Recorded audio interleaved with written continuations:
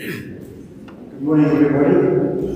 Welcome to our service this morning. So good to have you with us. Any of you here for the first time, great to have you with us and thank you for joining with us.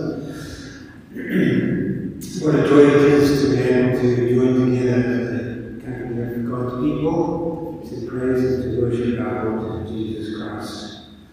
Yeah, the word of the Lord as I read from Psalm 146. Praise the Lord. Praise the Lord, O my soul. I will praise the Lord as long as I live. I will sing praises to my God while I have my being.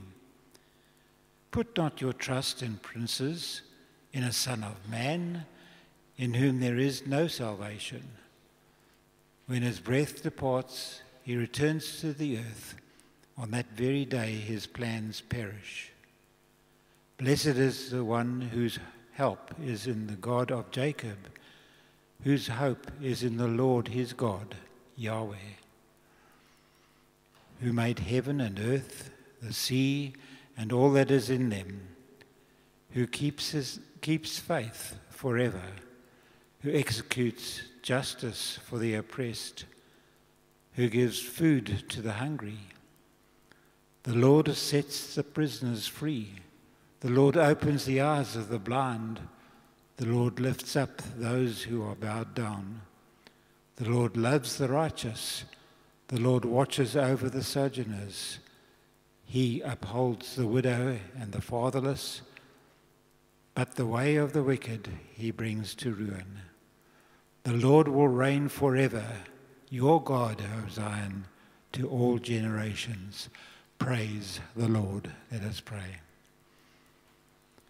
Our Father who is in heaven, we indeed come into your presence to praise and worship you because you alone are worthy of glorious praise. You are great and above all gods. All creatures you have created praise and worship you.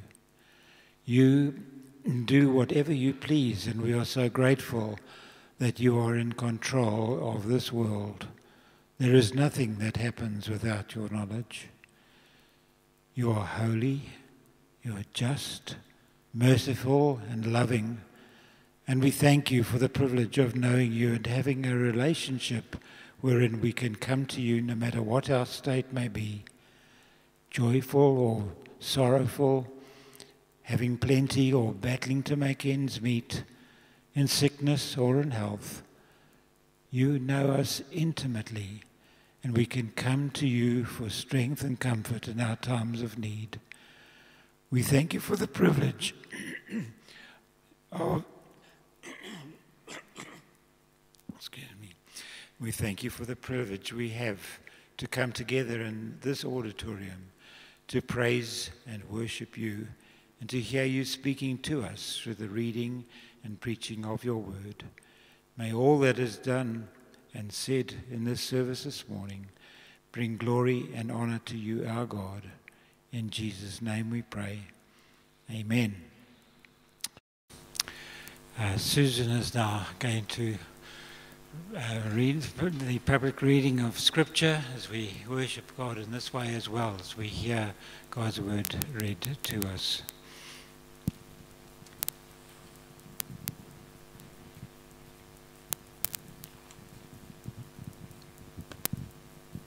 2 Corinthians 8. We want you to know, brothers, about the grace of God that has been given among the churches of Macedonia. For in severe test of affliction, the abundance of joy and the extreme poverty have overflowed in a wealth of generosity on their part.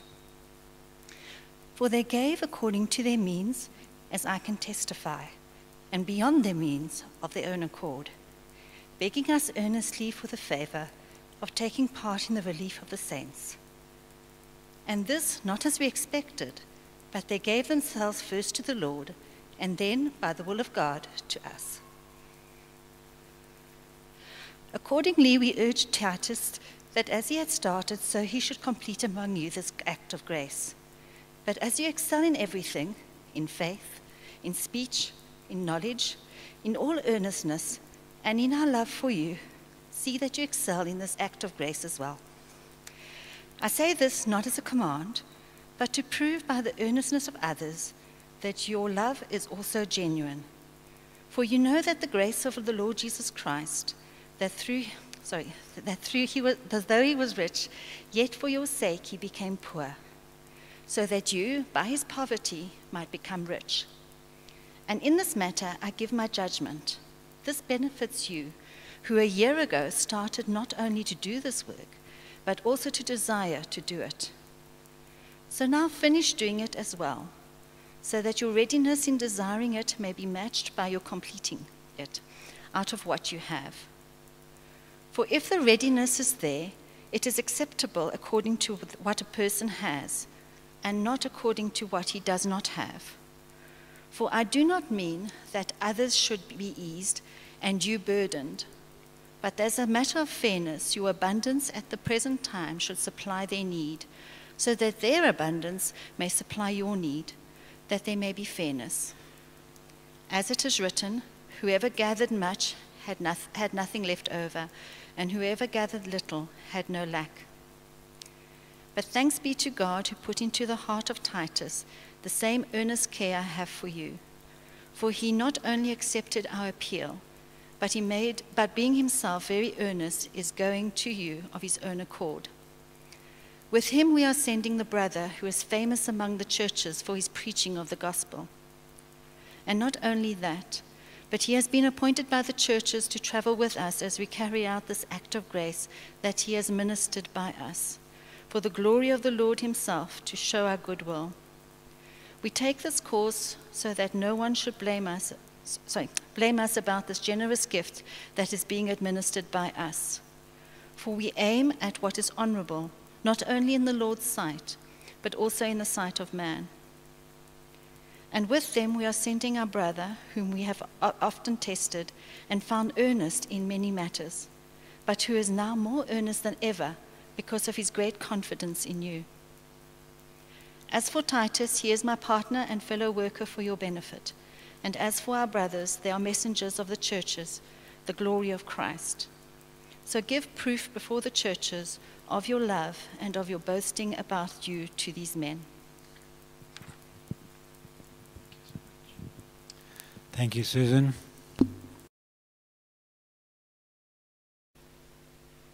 Focus, we come to the preaching of God's Word. Won't you turn with me in your copy of the Bible to the portion of Scripture that Susan has already read for us this morning in 2 Corinthians chapter 8.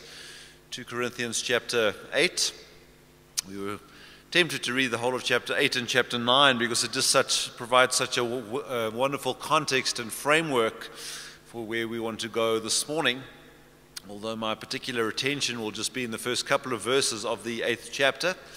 But just to let you know, this is a divergence from our series in, in Malachi, but not so much of a divergence, but a supplement, just coming back to the theme that we considered last Sunday morning as we were in Malachi chapter 3, uh, looking at verses 6 through to 12 on the idea of tithes and contributions and the failure of Israel in that particular regard.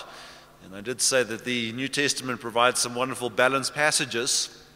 It's unlikely we're going to get to a, a preaching series on 2 Corinthians anytime soon, so I thought it was helpful uh, just to loop back and to add a little bit of uh, balance and to shore in some of the gaps that I might, may well have unwittingly created last Sunday morning. But, folk, if I may, just for a moment or two or three or four, uh, just preface where we're going to go this morning with a couple of comments, particularly for those that uh, might not have had the privilege of being with us last Lord's Day.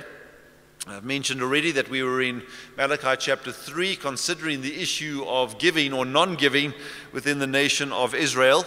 We saw in those verses last week how God challenged his people, his covenant people, who were back from exile, back in Israel, uh, busy rebuilding the temple and uh, the city and so forth, as to the issue of their failure to bring to the Lord that which was rightfully his. There was a pattern that had developed and the whole nation was culpable or guilty before God of robbing him, of stealing from him by not bringing their tithes and their contributions into the storehouses. They were guilty in terms of not sustaining the religious and the political space that they were supposed to be in. They were not uh, uh, supporting the Levites and the, the government workers, the civil workers, the priesthood, as it were, in terms of their, their giving. And uh, we saw that that was not just a matter of rands and cents or produce or goats or cows or wheat, but an issue of flawed worship before God because they didn't have a high regard for God, because they weren't fearing Him, because they had put uh, their relationship with God on the side. It was reflected in their attitude to the law of God, and they were forsaking His statutes, they were forsaking His laws, and God had clearly prescribed that His people were to give out of their produce a system of tithes and contributions that, as we saw, went far beyond what we typically think of 10%, but came close to 23, if not 25%, of a Jew's annual income that was supposed to be directed towards sustaining the nation in terms of what God had uh, required from them as we consider their failure in that particular way, we also saw the promises of God that if they got that right and they returned to Him, return to me and I will return to you, is the phrase that brackets that whole section. God would open up the very windows of heaven and bless them in a tremendous way, that every affliction that they were facing because of their disobedience, they would be relieved from. But just to recap, I made the case uh, I hope clearly last week that I do not think that there is a strong case for tithing that draws from the Old Testament into the New Testament. I say that humbly because I know that there are a number of uh, godly and capable academics and scholars and commentators and pastors, and have been through the centuries, that would take a divergent position on that. But uh, I'm taking the view that we are not under the Old Covenant law in any way, and there is no explicit reference through the New Testament epistles as God, through His Spirit, directs the authors to instruct the New Testament church on this issue of prescribed percentage based tithing. Now, having said that again, and I will say it again again this morning, uh, opinions do differ on this, and we need to rest on our own freedom of conscience as we come to this particular issue.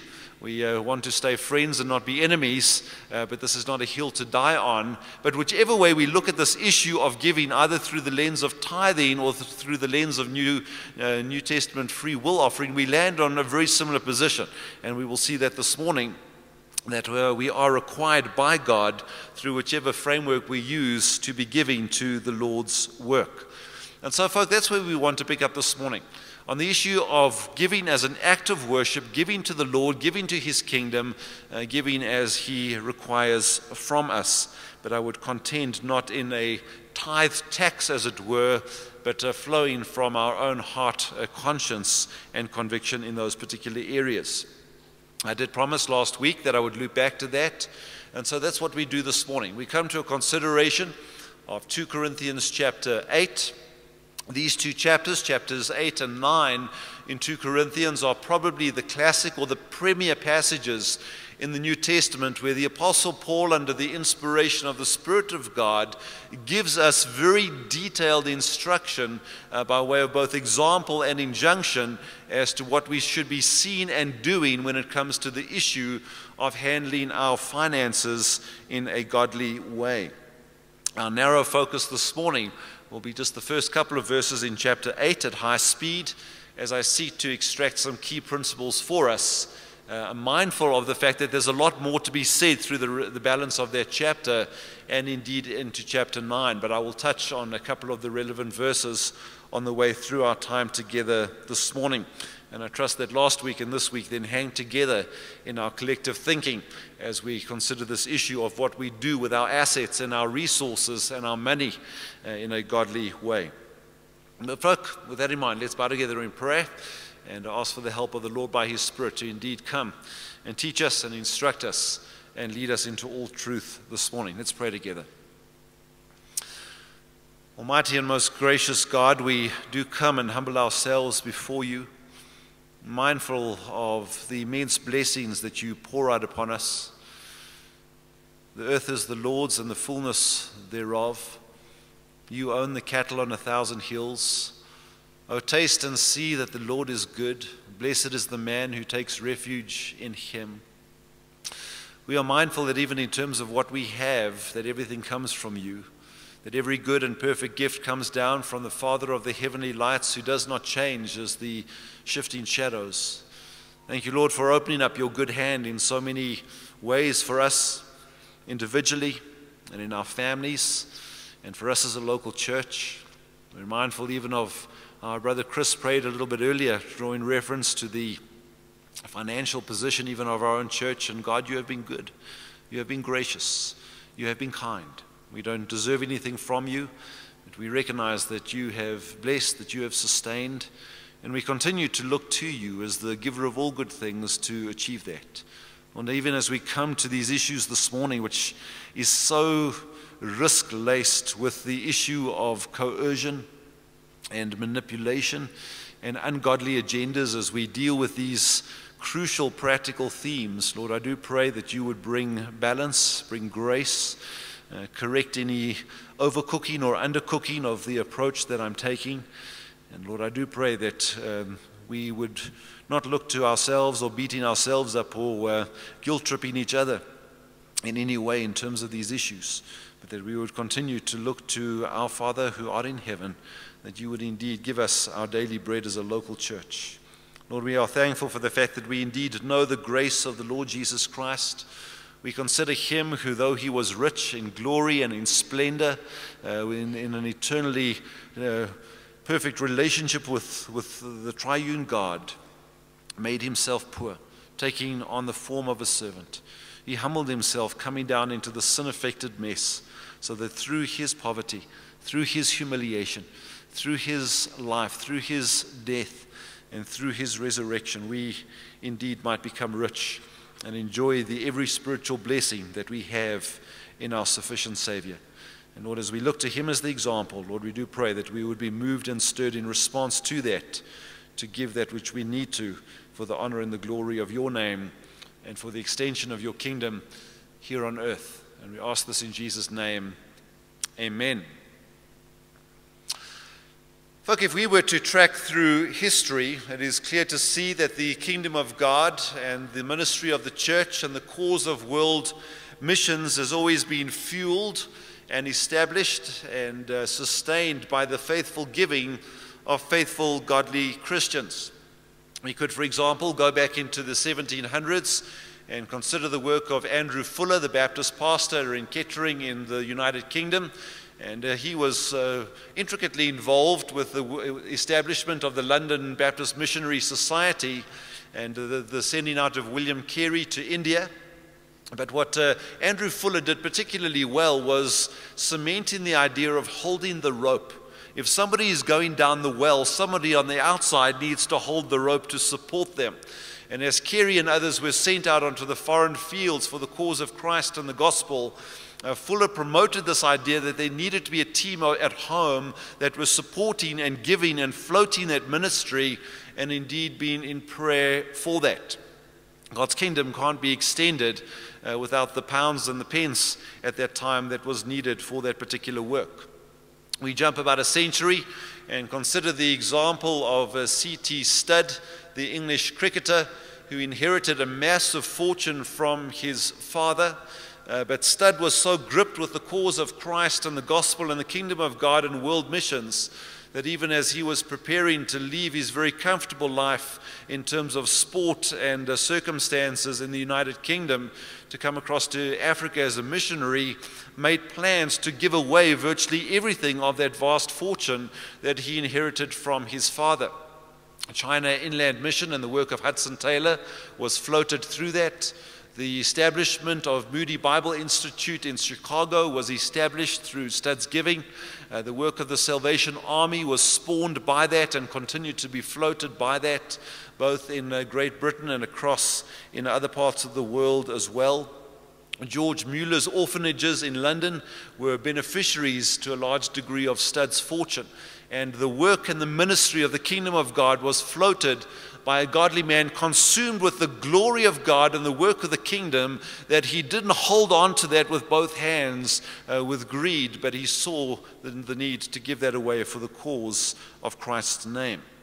It's not new. As we go back into Scripture, we can certainly see godly people with hearts motivated by a desire for, or, flowing from a, a godly desire of worship, giving to the Lord. We look at Mary, for example, there in John chapter 12 who took that uh, alabaster jar of costly ointment and anointed the feet of the Lord Jesus Christ with that. Many would look at that and say it's rank stupidity, as, as Judas did. It could have been sold for a vast price and so forth. But she, as an act of worship to the Lord, gave everything that she had in that particular way. We look, for example, at the church in the early chapters of Acts of the Apostles as they lived in community with each other and saw the needs and felt the pain of their brothers and sisters in Christ. And those that had assets and land and property oftentimes would sell that to liquidate that, to give so that others could benefit from that. This is not early uh, some form of early communism, but a real sense of fellowship and togetherness as they uh, felt the needs in their own community. The Apostle Paul, as he did work and ministry and traveled around as an itinerant evangelist and missionary and church planter, was often funded and floated by local churches. And as he writes to the church in Philippi in Philippians chapter uh, 4, he actually tells them, You've given me too much. You're almost oversupplying my need. You can hit the brakes a little bit. You're doing so well in terms of your provision. We turn, for example, to the book of 3 John, uh, right there at the end of the New Testament. And uh, John makes the point that there had been people, strangers, who had come into the midst of that local church. And there in verses 7 and 8, he says to them, Now that they have gone out for the sake of the name, they've been sent out for the cause of Christ and the gospel to evangelize and do ministry and do missions among, uh, amongst others. Therefore, we ought to support people like these that we may be fellow workers for the truth. We ourselves are not going out, they're going out, but we need to pay for them to go.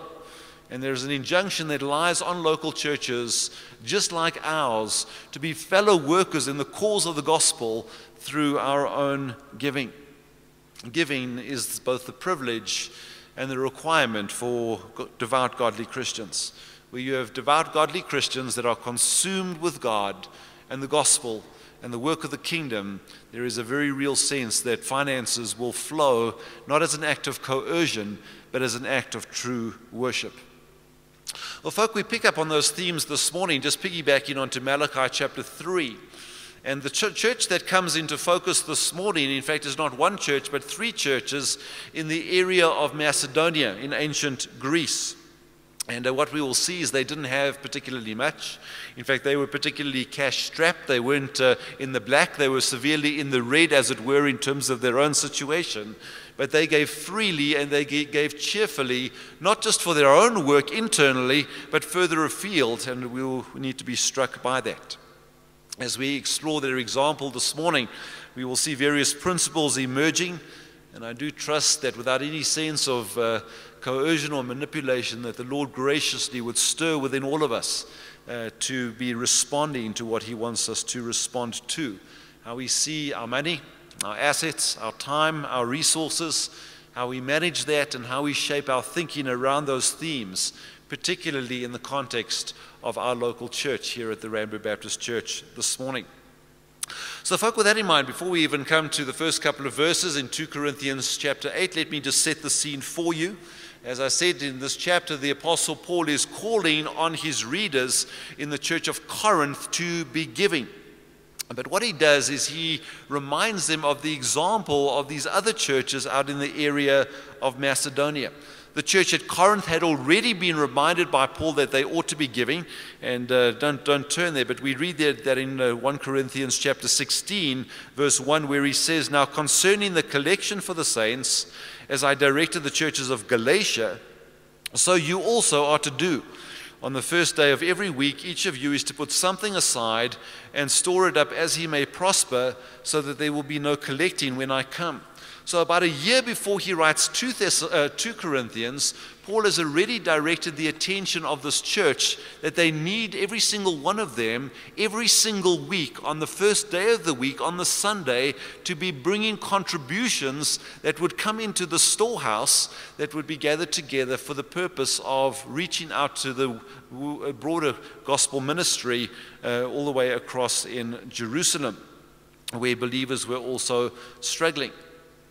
But as Paul loops back to that and puts pen to paper in 2 Corinthians chapter 8, he doesn't just come with theology, but he outlines the example of these churches in Macedonia.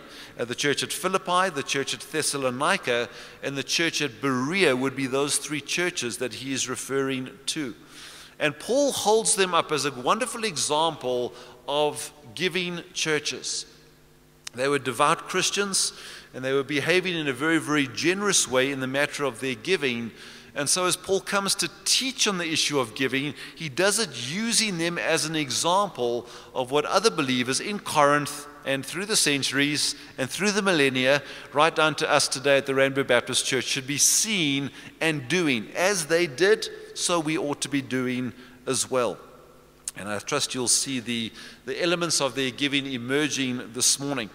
And uh, what we want to consider is what made them particularly exemplary, uh, what were they doing right, how did they give, with what spirit did they give to the Lord's work and to local church and to missions, and uh, what can and should we be learning from that this morning. So, again, folks, there's a huge amount too that we could poke and prod into.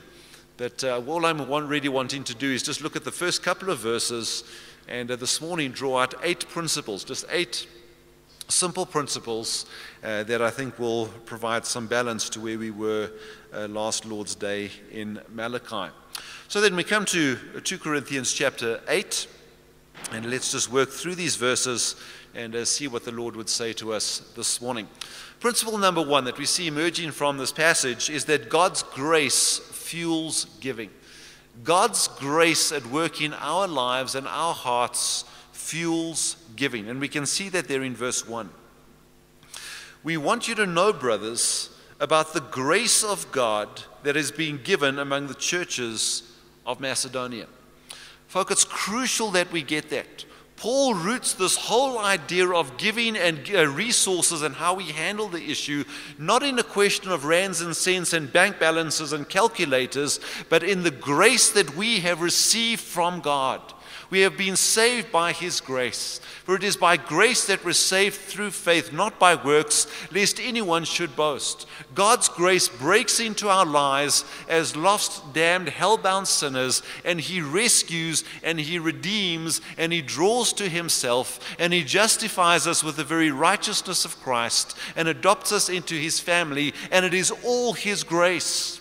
You do nothing to warrant that or to deserve that in any way. Everything that you have as a Christian in terms of the spiritual resources and the blessings of Christ are yours because of God's grace at work in your life.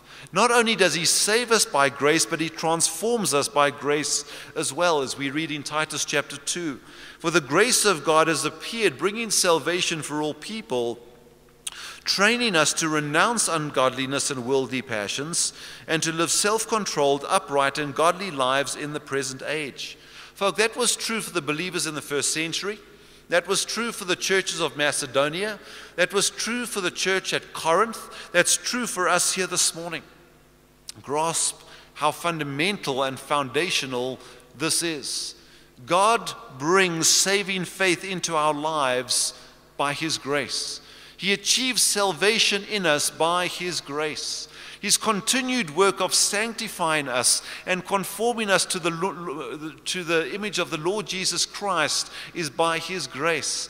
The very fact that we can have the mind of Christ and set our mind on things above, not on earthly things, is a mark of His grace in our lives. We've been saved by grace, we've been transformed by grace, we're sanctified by grace, and that means as a result of God's grace in our lives, our thinking and our perspectives and our attitudes and our agendas and our inclinations are being pulled in a more Godward, heavenly direction.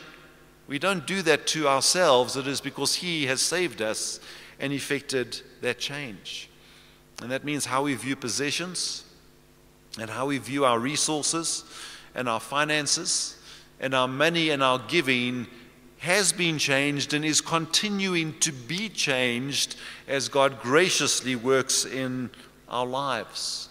The level of giving that we commit to and the level of sacrifice that we have is unique to those that have been touched and transformed by His grace. And Paul says there in verse 1 that was unique to the Macedonian churches. The life of Christ, as a result of God's grace, was bubbling out of them with a desire to give as they had received. Freely, freely we have received, and so freely, freely we want to give because they were so consumed by what God had done to them. But this is foundational, and we need to rest on this solidly this morning. Only the Christian can do this. Yes, I will concede that unbelievers can be charitable. They can be in, they can give, they can give their alms, their charitable giving, money in a money box, and be involved in community projects and pick up litter along the Braamfontein Spruit and hand out food parcels and get involved with Gift of the Givers and all of the wonderful, commendable work they do across our own country and beyond. But that's motivated by a concern for people. That's just humanistic phil- uh, philanthropy at play.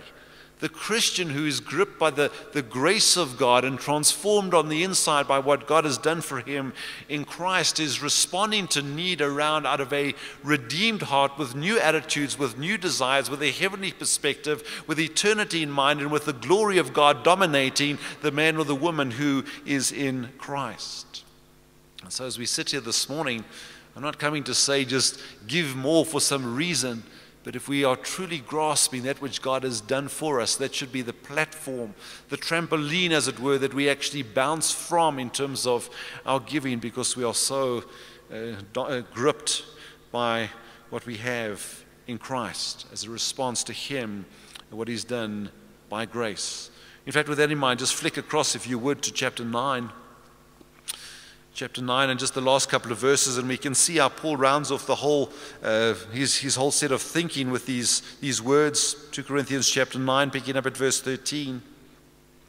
By their approval of the service, they will glorify God because of your submission that comes from your confession of the gospel of Christ and the generosity of your con- contribution for them and all others, while they long for you and pray for you. Why? Because of the surpassing grace of God upon you. Thanks be to God for his inexpressible gift. The inexpressible gift is Christ. The inexpressible gift is that which we have in Christ as we're united to him by faith. As we grasp salvation in God's grace, that is the, the source, the fountain of everything that we will be considering this morning. Not just a, not just a desire for the upliftment of people, but a response to the Lord's gracious intervention in our lives. So, firstly, we need to see that grace is both motivated and fueled and shaped by the grace, or giving at least is fueled and motivated by the grace of God. But the second principle that we see in these verses as we move through verse 1 and 2 is that circumstances do not hinder devoted giving. One's circumstances are not to be a hindrance for devoted giving. But let's just understand the pressures that are at play as Paul puts pen to paper. And we may well resonate with that to a, a degree this morning. These Greek Christians had it tough. It was tough to be a Christian in the first century. It was tough to follow Christ and to uh, name the name of Christ. They would bear suffering and loss as a result of hearing the gospel and responding to the gospel and calling themselves Christians. Believers in the first century, and we can see it mirrored through many of the letters and even through the, uh, the, two, church, uh, the, the, the, two chapters on the churches of uh, uh in uh, Revelations chapter 2 and 3 as Paul deals with those issues. They often lost family, they lost friends, they lost their prospects. There, were, uh, econo- there was economic deprivation in terms of losing business, oftentimes as well. They suffered for the cause of Christ. In fact, not a whole lot has changed through the centuries. If uh, you follow the work and the ministry of Open Doors and uh, see what's happening to our brothers and sisters in Christ across the globe, even today in 2023, there are men and women who are suffering for the cause of Christ through job loss and deprivation and arrests and exclusion and beatings and imprisonments, etc. Nothing's changed. That's always been the case. As they persecuted me, they will also persecute you, said the Lord Jesus Christ. A servant is not above his master. We should expect that to happen. It was happening then, and it was happening now and that impacted their own safety and security, but also their economics. And look at how Paul writes here in, in, in, these verses about the churches of Macedonia. For in a severe test of affliction, their abundance of joy and their extreme poverty have overflowed in a wealth of generosity on their part. They weren't having it easy, they were in a severe test of affliction. Severe means big, it means mega, it means large, it's grand. This was overwhelming stuff that they were facing. And they were going through the furnace, as it were, being refined by God as they suffered for the cause of Christ, with a sense of crushing um, oppression upon them all the time. What these believers were facing in terms of their lives was not Mickey Mouse stuff not some lightweight opposition where somebody doesn't want, want to talk, uh, talk to you or, or ghost you in a, in a particular way. This church faced crushing oppression all the time. And the result of that was very real poverty linked with their persecution. Extreme poverty is the way Paul describes it in these verses. They were down in the depths in terms of their own circumstances. Now, I guess painting that picture, you would think that would be the time when they would legitimately be able to say, we've got to look out for ourselves, we've got to laager in here and protect ourselves in a particular way. We've got all these tremendous difficulties because of the circumstances and, and the persecution we're facing, not just the threat, but economic loss as well. We, we, we, we, can't, we can't give in, in a particular way. We've got our own problems. We're too poor to give. We're too consumed with staying alive every single day. But it's interesting. In the midst of the intense suffering and the deprivation, these three churches in Macedonia still gave. It's intriguing to see how their focus was not on themselves. They were thinking about other people whom they hadn't even met. And that's the amazing part. They would probably never ever get to meet those believers in the broader church across in Jerusalem. Never get to know them personally. Never be able to sit with them and have a prayer meeting together with them. And yet, as they heard that need and thought about the bigger issues of the Church of Jesus Christ in the first century, out of their own terrible distress and the crushing affliction that they were facing, they gave to minister to the body of Christ in a place far removed from where they were at. Well, can you see the grace of God at work? This is not natural. This is not something that can be whipped up. This is not something that can be coerced. This is the Spirit of God stirring within a Christian who has been bought and redeemed and purchased by Jesus Christ. Devout believers are not bound by circumstances, they're not bound by the hardship that they have. A love for God and a love for His people, be it in their own local church or further afield, grips and compels them to rise above the circumstances to a life and an attitude of faithful, kingdom minded giving, even though it's hard and even though it costs. And we're going to see that this morning. Look, as we consider this issue of circumstances, we don't in any way want to do that in some super spiritual vacuum as we sit here in July 2023 at the Randburg Baptist Church. I get it. You get it. We know the realities that we, we live with. We live with rising food costs. We live with pay cuts. We live in some sad instances, even within the church, of retrenchments. We know what it's like to see the uh, petrol price going up and up and up, and even the gas prices going up and up and up, and we need that, don't we, as well? We, we know the interest rate escalations and how that impacts you in terms of some of the loans that you have. Those are the realities that we face. I know that even sitting here this morning, I can see you because I know that you're here. Some of our folk live day to day with no running water and no power. Some of us have just been impacted over the last 48 or 72 hours with that. But there is a daily reality for some of our people in terms of where they're at, where that is a daily struggle. Some of our people don't just jump in their cars on a Sunday morning and come across here, but are waiting an hour, two hours, three hours on the side of the road for the taxi to fill up so that they can even come to worship on a Sunday because that's the realities that our people are dealing with.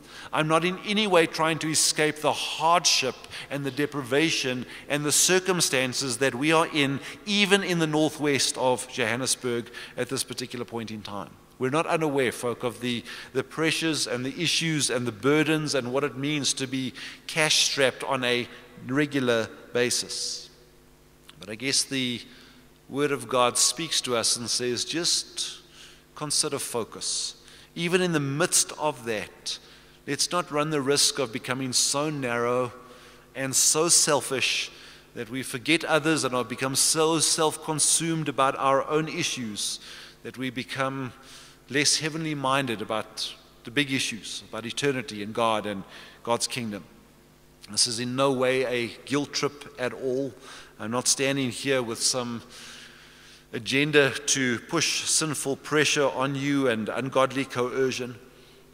But, folk, even in small ways, even in small amounts, let's not lose sight on the, uh, of a focus on the kingdom of God and the need to support His purposes even from within our own hard circumstances and the adversity that we may well be facing in terms of our own lives at this particular point in time. So, giving transcends circumstances. Linked with that and flowing from that, we move to another principle that flows from verse 2. And so, thirdly, this morning, we need to see that joy is a mark of giving. Giving should be joyous, it should be exuberant, and we want to see that. For in a severe test of affliction, their abundance of joy and their extreme poverty have overflowed in a wealth of generosity on their part. Fact, this flows from what we've just seen. God's grace fuels our giving.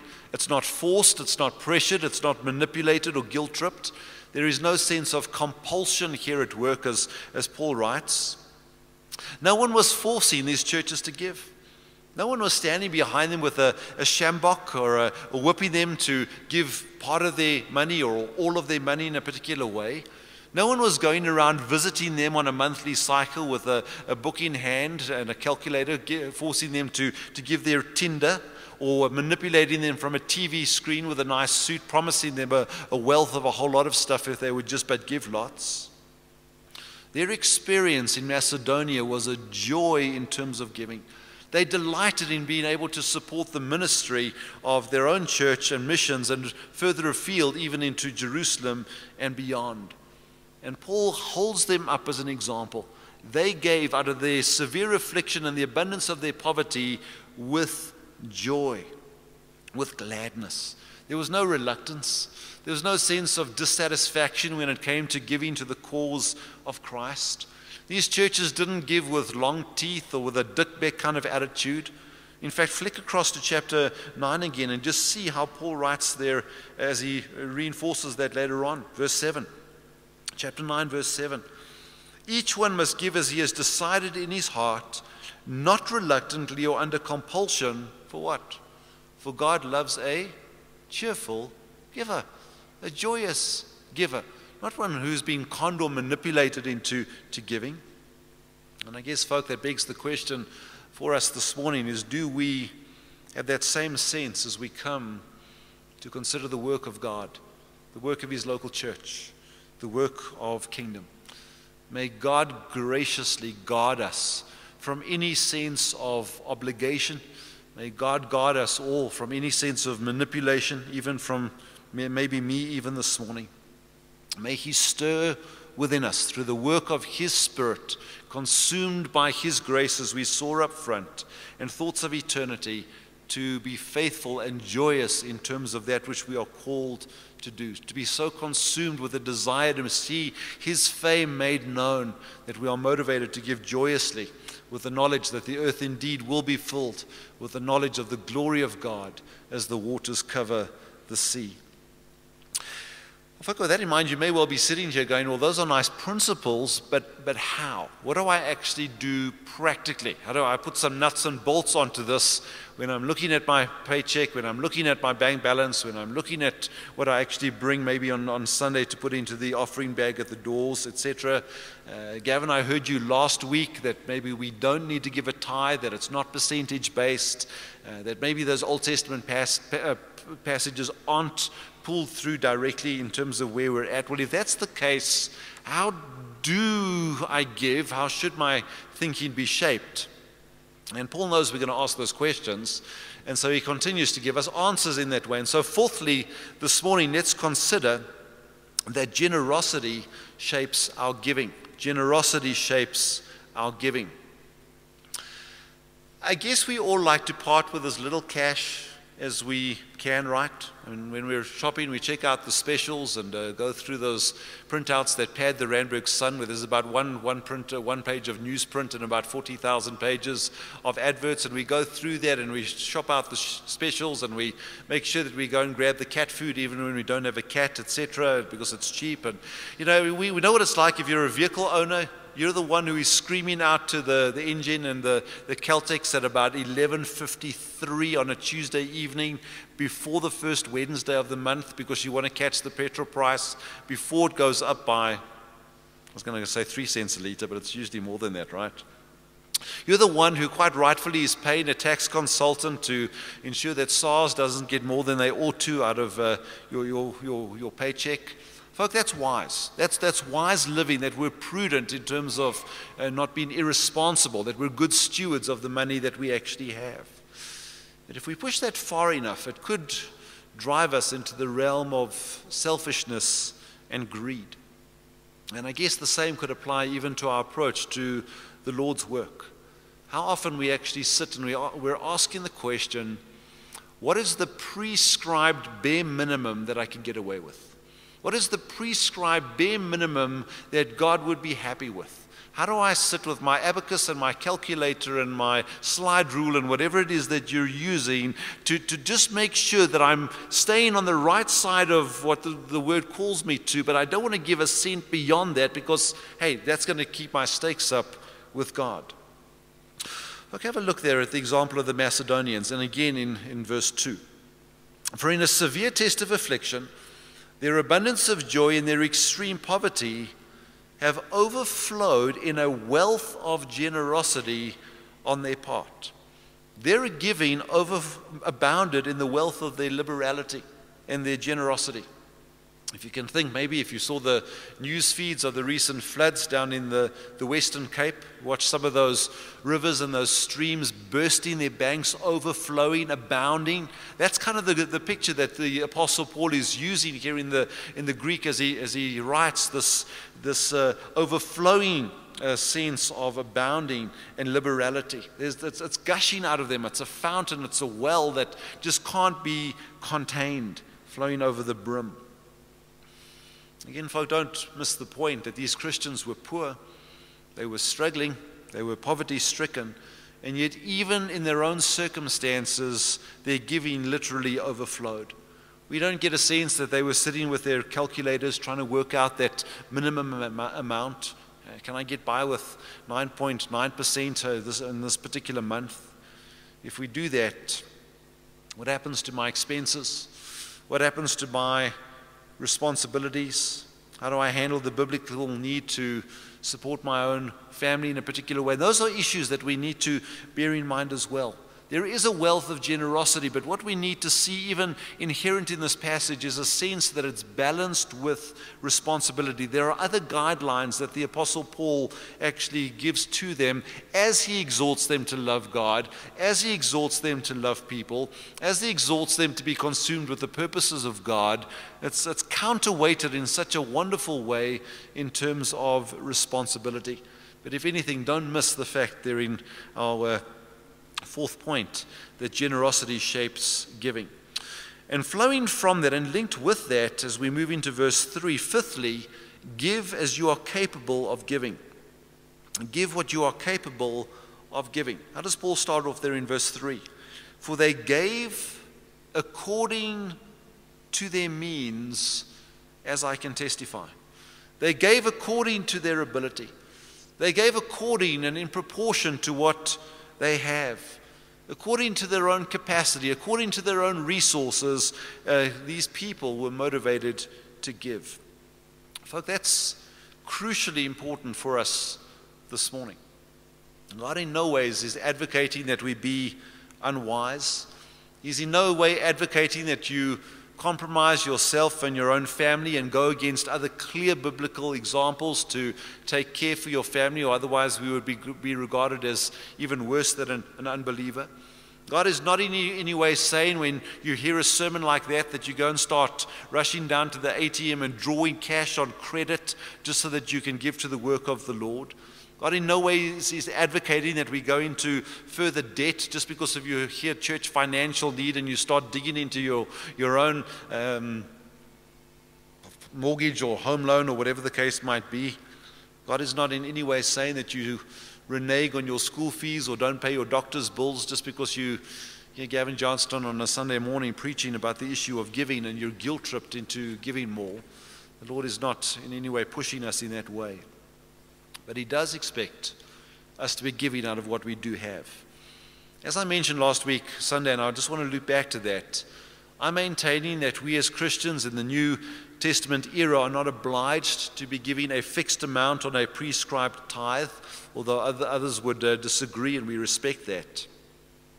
But, folk, I think it's clear that there is enough biblical evidence that challenges us to look at that which we do have and before God in response to His grace, to prayerfully and wisely consider that which we do have and then to give accordingly and proportionately in that regard. In fact, that makes sense. It just makes absolute sense to us, and you can see how wise uh, the Apostle Paul is as the Spirit of God directs him. If you think of our own church, we've got folk here who are in reasonably low paying jobs in a variety of different workspaces. And they would struggle. They would really, really struggle in terms of finding significant cash to give to the Lord's work. Maybe 1% or 2% of their, their income every month is all that they can contribute, all that they're capable of, but they're still called to give out of what they do have. And, folk, at the same time, we're mindful that we've got people here that are in top corporate positions in high paying jobs with significantly more disposable income. And if that's just being capped at 10%, we're, in a sense, robbing the Lord by not bringing out of the generosity of what He has actually blessed us with because we can give so much more. And so the challenge lies before us.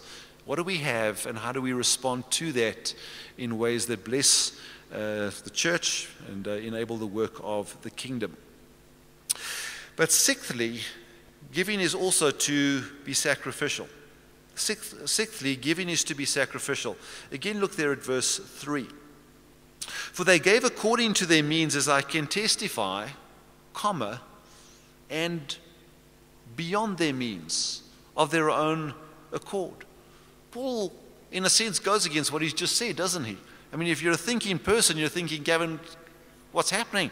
This is a direct contradiction of what we've just said. You've just said give proportionately and wisely, and here we see the sacrificial angle beyond their own means. What's Paul saying?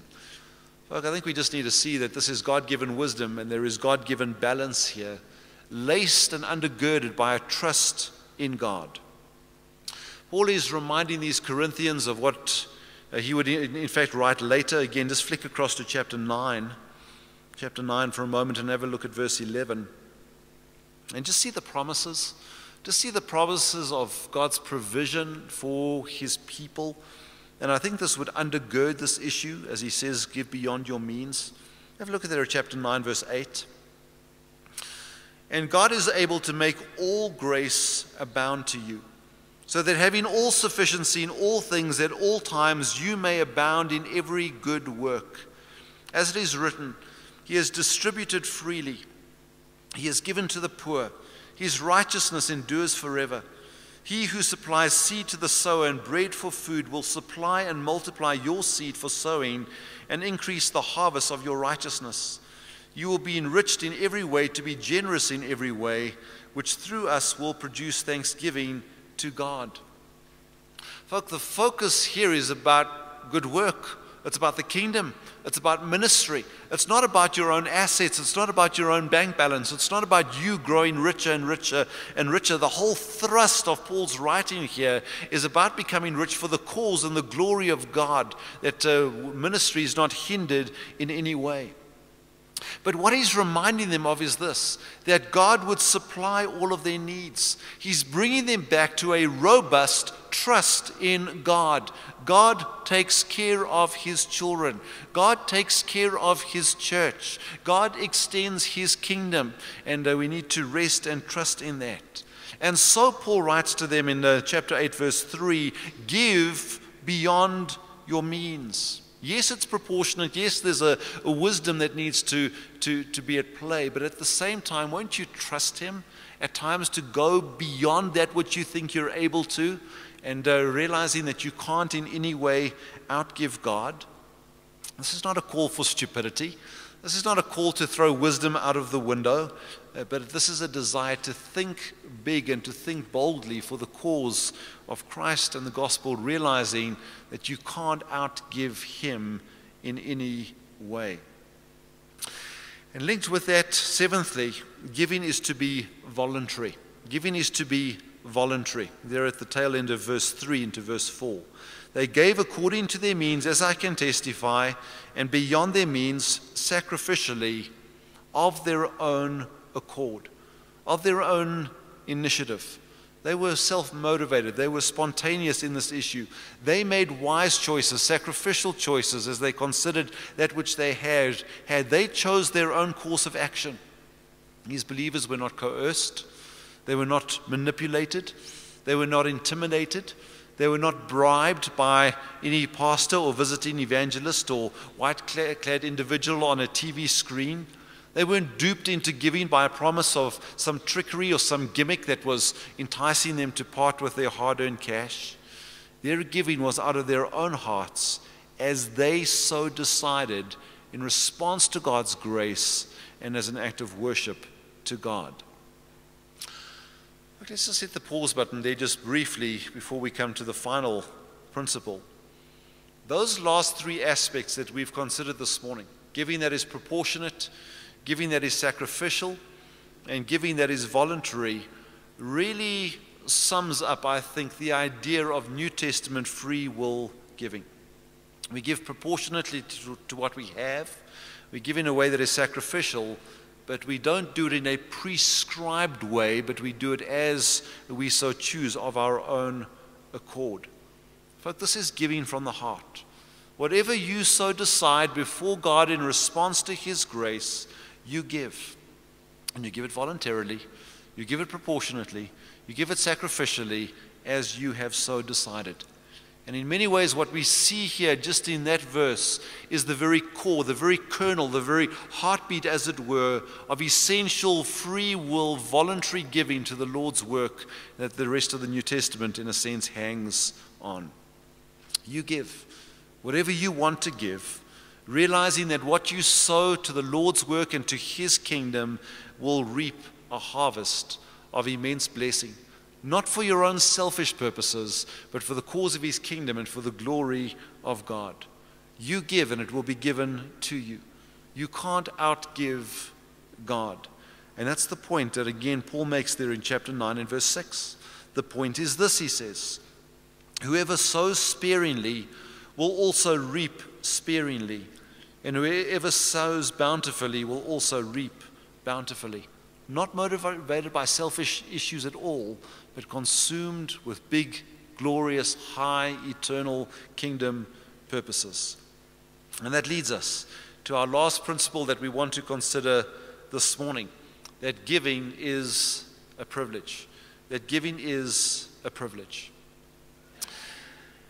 I guess we've all seen them. It's the dude that's trying to sell his Homeless Talk at the intersection or trying to get some money from you with his little piece of cardboard and uh, the notes sketched on that about his circumstances and life and family and so forth. And there's very, very um, uh, real need around us. But, folk, if you can imagine somebody who's particularly hard pressed and afflicted and he's desperate for some handout, for some food, for some money, you get a sense of the earnestness. You get a sense of the almost aggressiveness in terms of asking for that particular issue. And that is the word that the Apostle Paul uses here in verse 4 begging us earnestly, begging us passionately, begging almost with a sense of aggression, not to get money, but to give money. They were begging us earnestly for what? For the favor or for the privilege of taking part in the relief of the saints.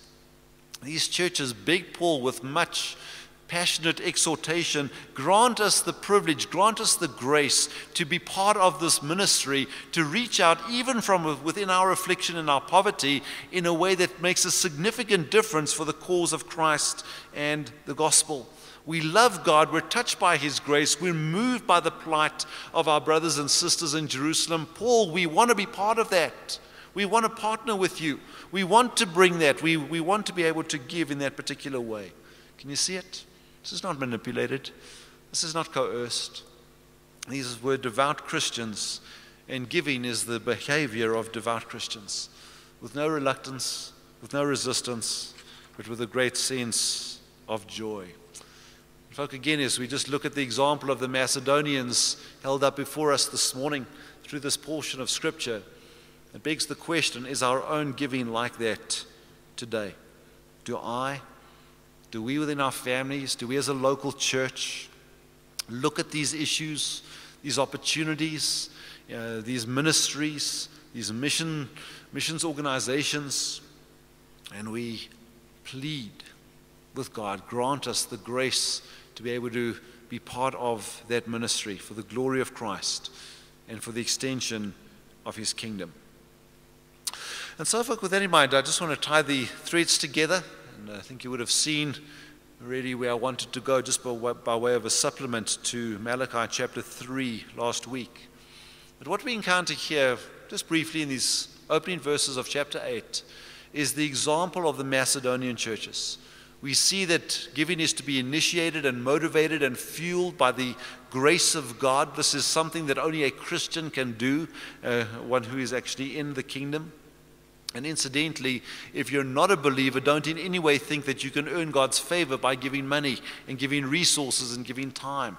We're saved by grace through faith in Christ alone. And in response to that, the, the good works and the opportunities for ministry and giving come. But this is a believer's privilege.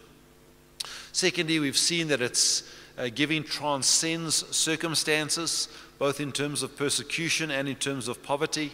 We've seen that giving is a joyous act it is to be generous, it is to be proportionate, it is to be sacrificial, it is to be voluntary. And then finally, and eighthly, this morning, we've seen that it is a privilege, something that we need to be earnestly uh, desirous of being involved in without any sense of obligation at all.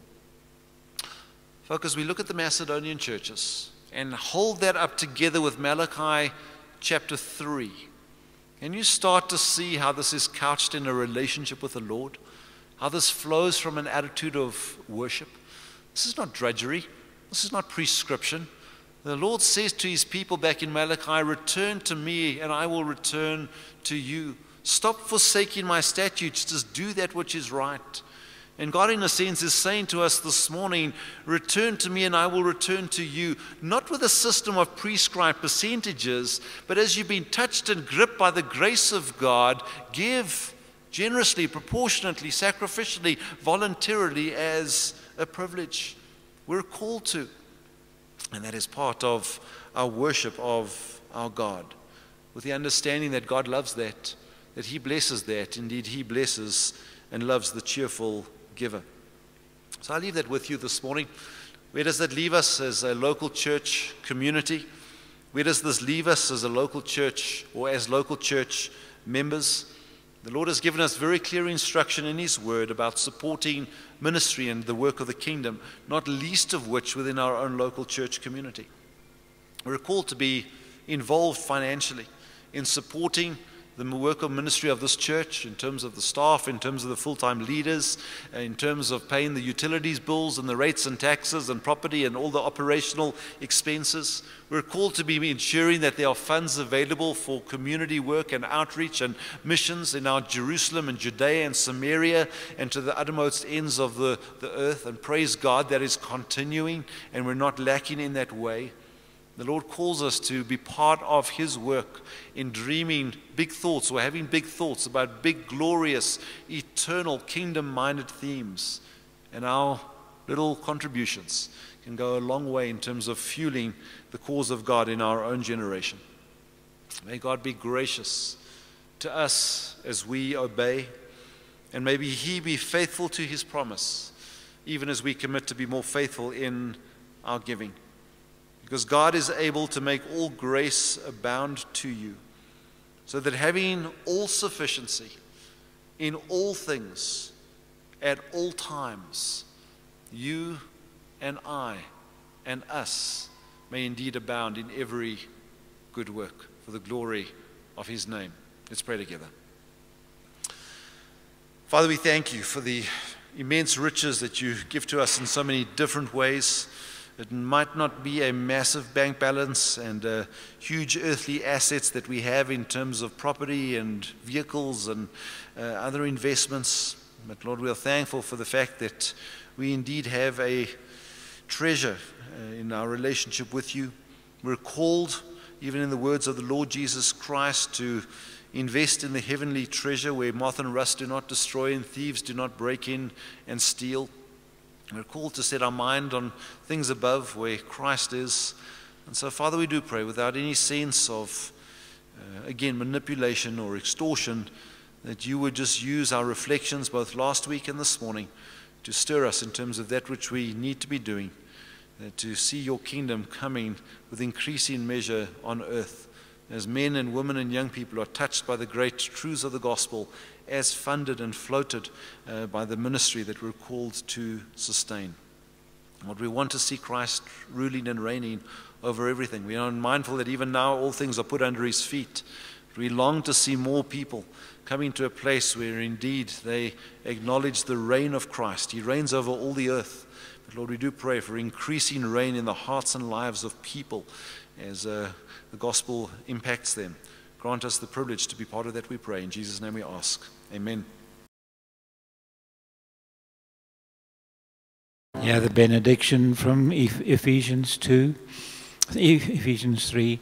Now to him who is able to do far more abundantly than all that we ask or think, according to the power at work within us, to him be glory in the church and in Christ Jesus throughout all generations, forever and ever. Amen.